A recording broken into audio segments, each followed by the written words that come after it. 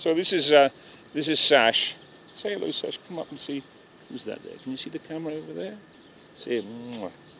This is Sash, most beautiful dog. Just come into this uh, clinic and uh, will stay on at the Nowzad shelter until they can be found a home. Now these dogs, I mean all of them, I've met so many recently, they are all heartbreakingly beautiful. They'll make great pets, they're very, very friendly, be great family dogs. And I would really encourage people to sponsor, support and try and rehome one of these dogs because you're going to be very happy with it. This one is beautiful. Oh, baby. There. You're a lovely, lovely girl.